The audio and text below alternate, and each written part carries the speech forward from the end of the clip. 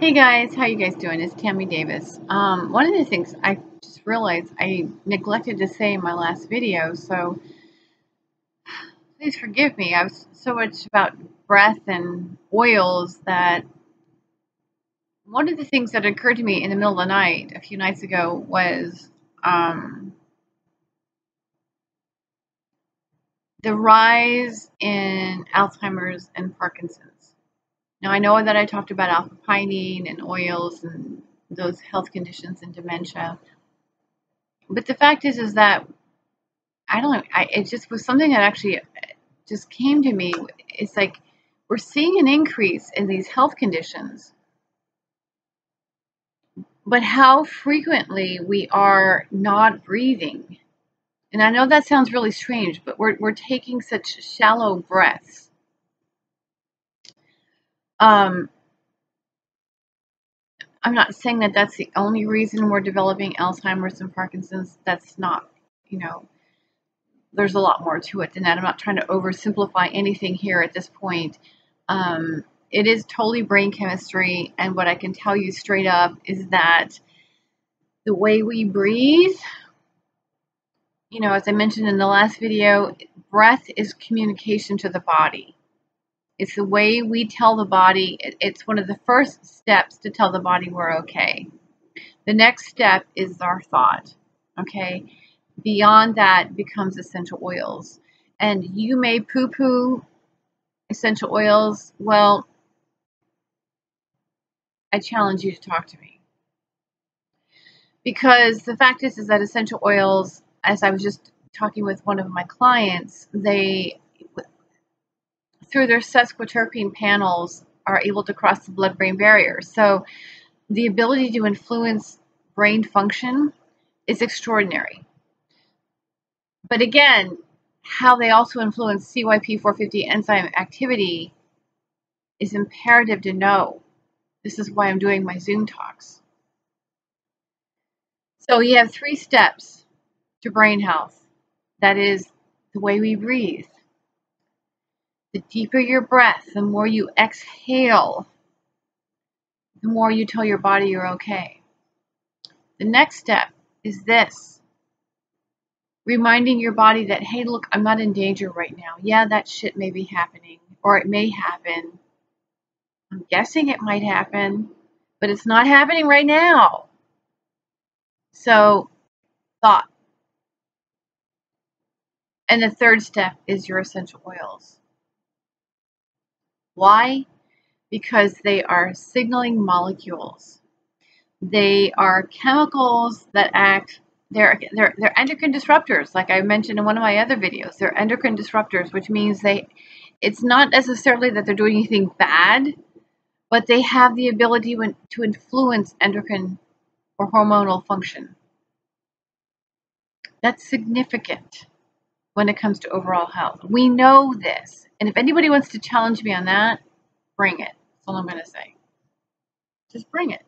Because the fact is, is that this is real. And it's time to begin to work with oils at that level. It's time to begin to work with our breath at that level. It's time to begin to work with our thoughts at that level. But as I mentioned, Alzheimer's and Parkinson's, that's the reason I actually started this, is, is, is growing. And our lack of breath. Okay, the fact that we're constantly like short.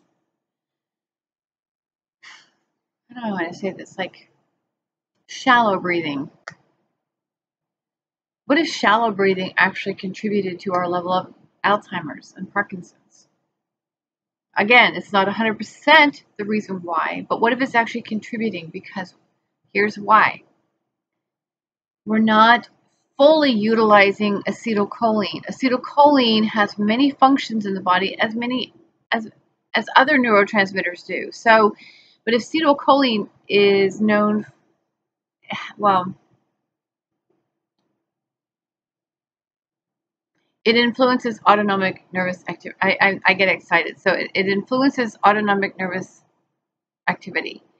It also is responsible for digestion, respiration, but being able to fully utilize it, that's the reason why I did that last video. So what if our shallow breathing actually contributed to the development of, uh, of Alzheimer's based on our own individual genome?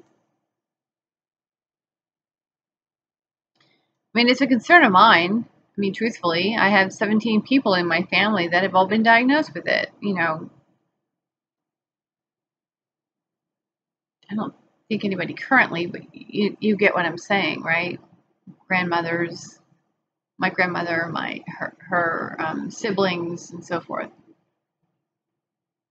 My mother was diagnosed with early, you know, onset. So, and that was in her 60s.